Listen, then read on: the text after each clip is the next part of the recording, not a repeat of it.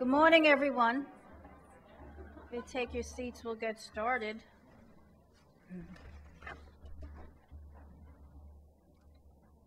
I have the easy job today. I'm just moderating. As president of the Aging in New York's Fund's Board of Directors, I welcome you to our educational forum on healthcare reform and aging connections. The fund is the philanthropic arm of the Department for the Aging and is dedicated to enhancing the quality of life of older New Yorkers and their families. The mission of the Aging in New York Fund is to develop a unique public-private partnerships and to incubate programs that give seniors more opportunities to age in place and live more connected, more vibrant, and healthy lives. Also, to fill critical gaps in the aging services network and to provide fiscal and administrative support to other New York City nonprofits in their efforts to offer essential services to seniors. I'd like to welcome DFTA's partners who are here today in the audience, the senior network providers, the policymakers, the grant makers, and members of the New York City senior community. I'd like to also highlight the forum sponsors, our corporate leader, Emblem Health, as well as United Healthcare, Jeffrey Sobel Consulting, and the Benefit Wrap Program. We appreciate your support and thank you for investing in this important issue. And I'd also like to thank one of our board members, Jackie Monk, who was able to um, allow us to use this beautiful venue this morning. Um, who is, she's a, a corporate executive at time. So thank you. Seniors make up New York City's most rapidly growing population group, with 1.4 million city residents age 60 and over. I'd like to give you just a few examples of the ways in which DFTA and many of our creative and energetic not-for-profit partners help seniors live stimulating and satisfying lives. Our senior centers and NORCs carry out evidence-based and other health and physical fitness programs to help thousands of older New Yorkers maintain strong bodies and active minds, achieve good mental health, and successfully manage whatever chronic conditions they are dealing with.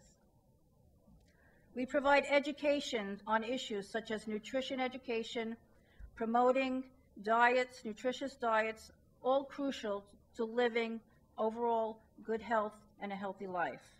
We offer benefits and entitlement counseling to make sure that seniors access the wealth of benefits that they may be eligible for, a very important endeavor in a city where, according to the Center on Economic Opportunity, 44% of older New Yorkers live below 150% of the poverty level.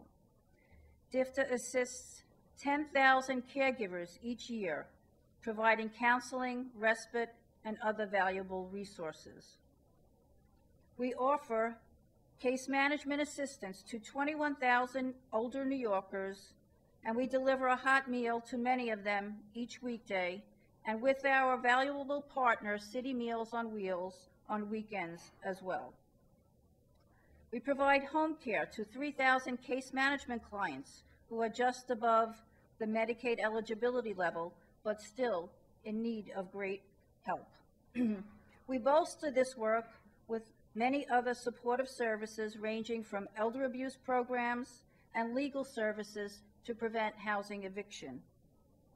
DFTA has expanded a great deal of energy in the last few years learning about the changing landscape of the healthcare environment in New York State.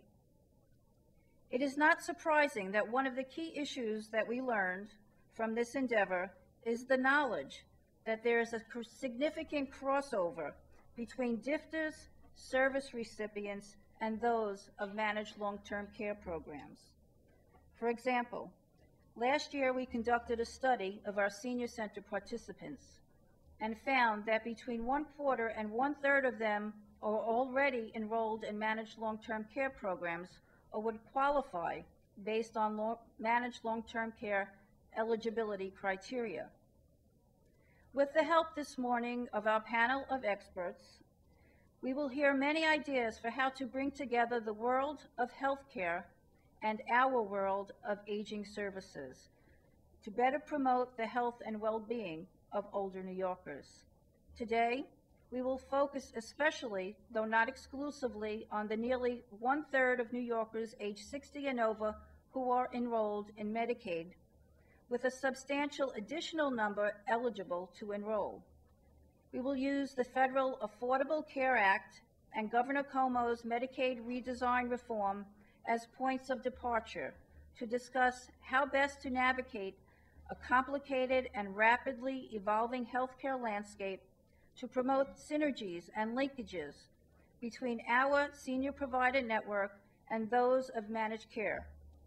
This will include two very important groups of seniors, those who are in need of long-term care services so that they can remain in the community, and preventive efforts to help sustain older New Yorkers remain in good health. A modest investment by managed long-term care companies in preventive and supportive services currently offered by the DFTA network will reap benefits for older people to maintain vital and productive lives. And we can do this cost effectively by preventing or postponing conditions that lead to costly hospitalizations and nursing home stays.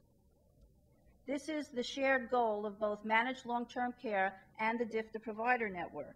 This morning, we will learn how to build those bridges.